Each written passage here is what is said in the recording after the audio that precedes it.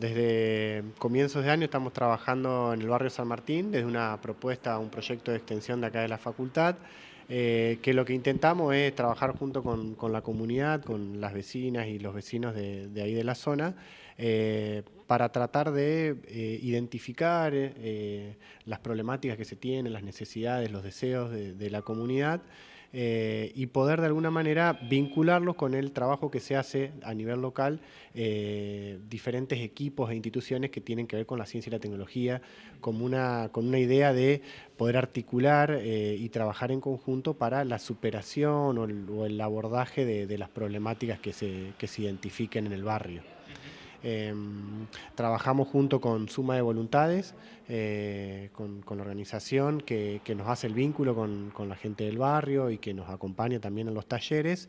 Y en este caso puntual eh, vamos a trabajar con el INTA, eh, con, el equipo de extensión que nos van a brindar a nosotros y a la comunidad del barrio San Martín un taller o un encuentro en realidad eh, para la producción de alimentos y, la, este, la, instalación de huertas eh, en las casas y en, el barrio. Que es, muy importante ante la, emergencia, ¿no? de, sobre todo de los comedores, eh, que no están recibiendo comida.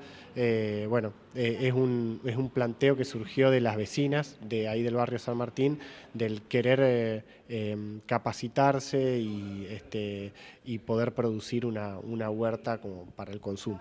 Se ve a la universidad solo como una institución de educación, que es real, digamos, porque la, mayoría, digamos, del, el, gran, el grueso de la actividad es educativa, pero también se realizan actividades de investigación que es de producción de conocimiento, y este tipo de actividades de extensión. Eh, que tiene que ver con articular con diferentes sectores de la sociedad para trabajar sobre alguna problemática específica. Nosotros con el proyecto estamos de hace unos años trabajando en barrios populares. Hemos trabajado con el barrio Arroyo Los Berros, con el barrio Antártida Argentina, con el barrio Humito, eh, con la cantera. Eh, y en este caso, eh, eh, a partir de este año empezamos a trabajar con el San Martín y bueno, ahí estamos tratando de articular con diferentes organizaciones como para poder de alguna manera trabajar eh, junto con la comunidad, eh, esto es importante decirlo, eh, digamos que también las problemáticas, las necesidades surgen de, ahí del territorio. es una imposición, digamos. Exacto. para, bueno, tratar de, acompañar y de contribuir a la, resolución de las problemáticas.